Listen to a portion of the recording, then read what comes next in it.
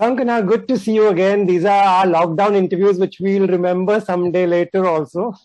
Hi, Rohit. Yeah, lovely to see you again on Zoom.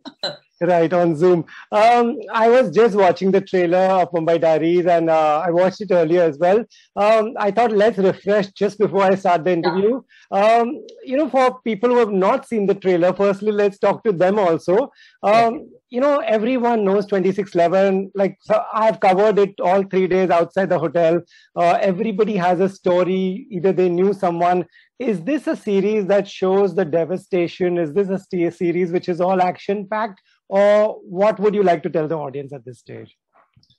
Um, you know, Rohit, this is a show which has used uh, the events of 2611 as a backdrop.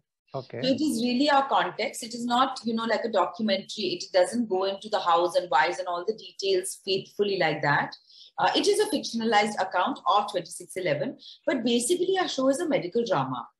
It's a medical drama. It's set in Bombay General Hospital, which is a government hospital in Mumbai, where the in our show we have shown the terrorists have entered at a certain point in the season, which actually had happened. They had uh, entered, I think, yes. Cama. Uh, uh, yeah.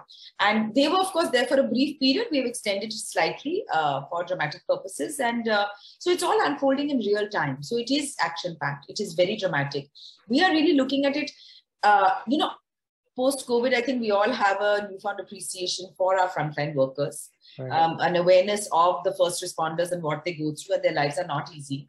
I think in any case, in a government hospital, even in a big city like Mumbai, there are a lot of uh, you know things left to be desired. There's a shortage of beds and you know uh, of equipment, supplies, etc. It's not it's not ideal at all. You know, uh, so it's the journey of the lives of these doctors, the nurses, the ward boys, the administrative staff, and you know their personal journeys. Uh, of course, that they're going through. Though we don't get into that in a lot of detail. Sure. The patients over there, and then these events unfolding and how they are dealing. You know, so it's a medical drama thriller, is how I would describe it. Okay. Nice. And, and also for those who have seen the trailer now, it's evident that it's set in a hospital. It's a fictionalized version as well. But of course, a lot of these things did happen that we all are aware of. It also focuses on these three people who have just joined their first job and are uh, suddenly taken aback with these terrorists entering the hospital.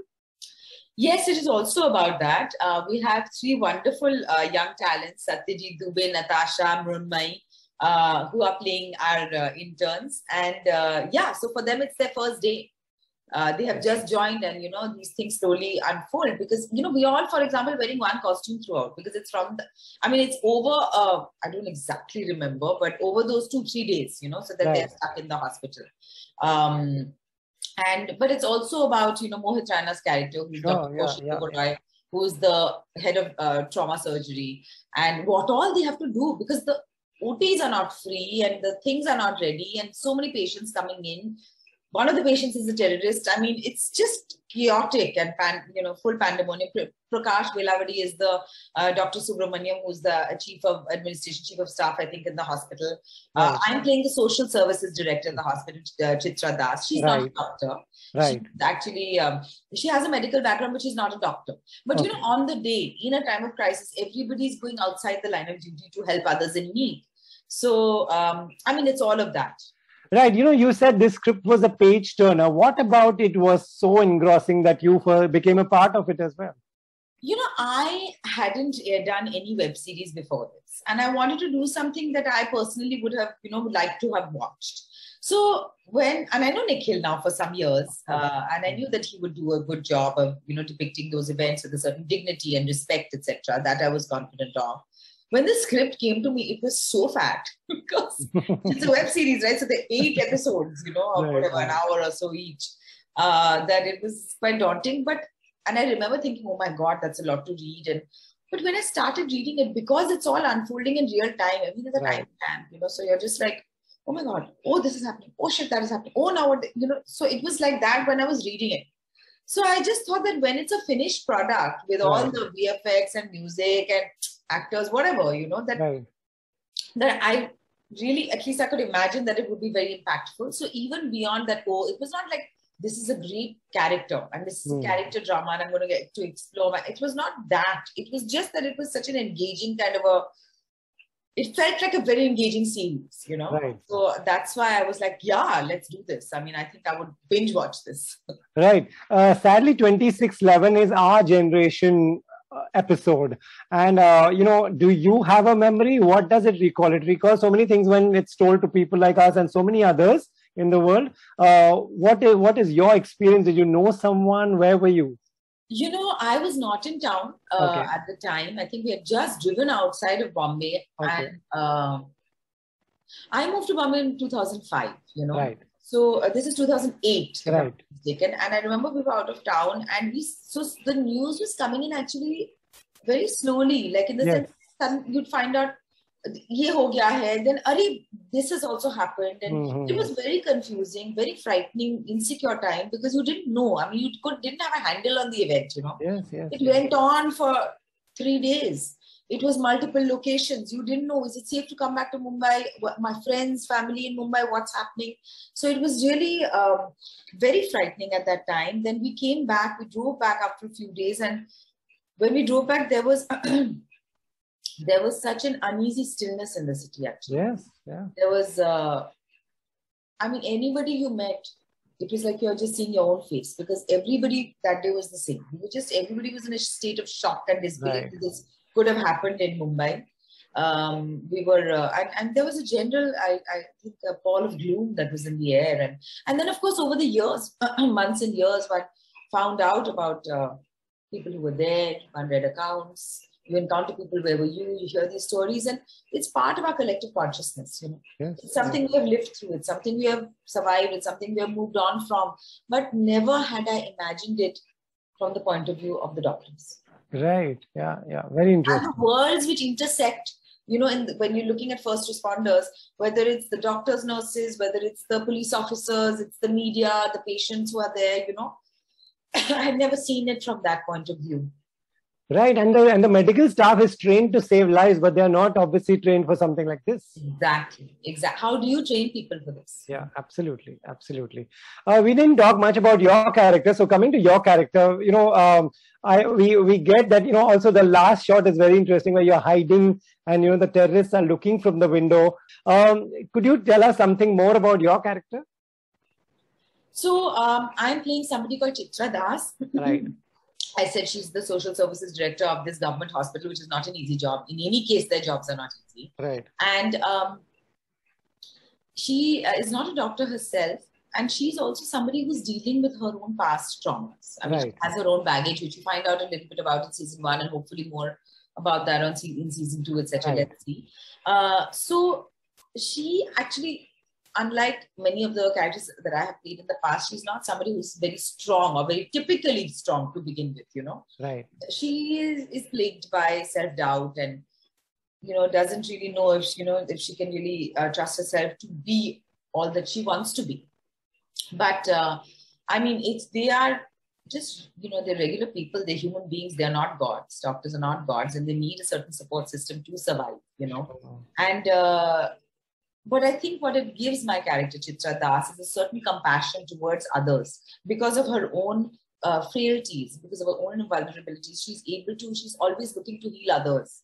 Right. You know, she's always looking to help others because in a way it's like she's maybe thinking she's helping herself. Right. Uh, but of course, eventually through the season, uh, through the episodes, we see that eventually she is somebody who is able to act with a lot of courage. Yeah. Right. During Geeli Pucchi, you told me your uh, procedure of prepping for a role. It was I found it really interesting. For this particular role in Mumbai Diaries, uh, the prep was the mainly the script, or did you get to meet some doctors? Would you did you did you want to do that? So uh, I think in this, you know, what happens actually with research is that you don't always have to research equally for all uh, shows or all characters.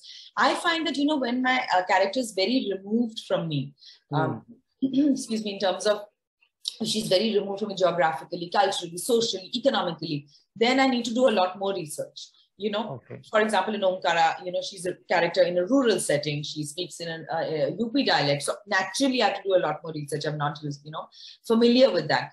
But Chitra Das is not that removed from me Okay. the way I am. And she's also not somebody who ever expected to go through these circumstances herself, you know, so you can't really prep for that.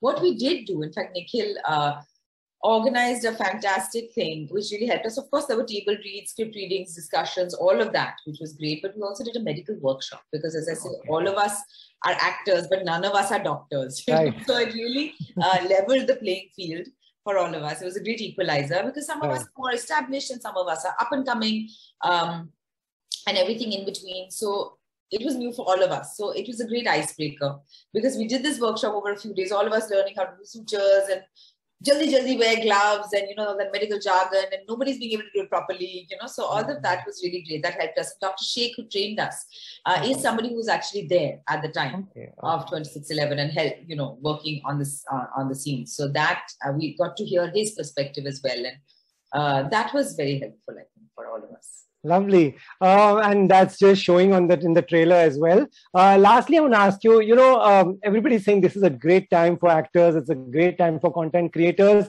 What are these times like when, as uh, when I talk about the number of offers you get, the number of scripts you get? You said this was this fat a script. How many do you end up reading? How many do you end up, you know, um, giving it a shot?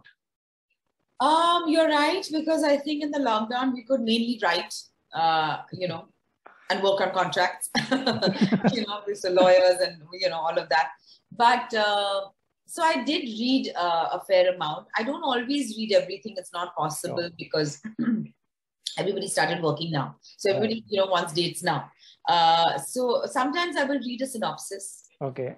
Try to get an understanding of what is this world, what is this character. Sometimes I'll meet the, uh, you know, director and try and understand what they want from me or what they mm. have in mind, kind of a thing. And then you know one because reading a series is uh you know it's eight ten episodes and it's a lot of reading. So and one has so many other things to do. So that itself actually is very time consuming. Right. and sometimes if a script is not well written it's very difficult to read actually. Yes. It's not like a book you know so um, I did read some. I did meet people. I said no to a lot of things, uh, but um, you know I have come across some nice uh, projects to work on. Of course, it's too early to say. So that'll be announced as and when. Great, everything that you've chosen so far, you know, you have managed to entertain us always. Uh, great, uh, and best of luck for Mumbai Diaries as well, Thank you. Thank you so much. Thank you so much. Bye bye.